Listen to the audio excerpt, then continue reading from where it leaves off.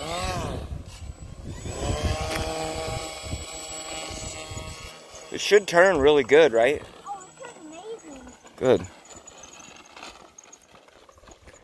Dude, there's no wind. As soon as I Remember, you haven't flown in a week, so take your time.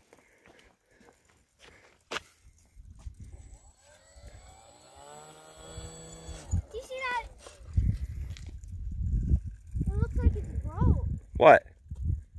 Look at it. The prop? Yeah. No, that's the angle of the uh, the motor. It does that to account for the torque.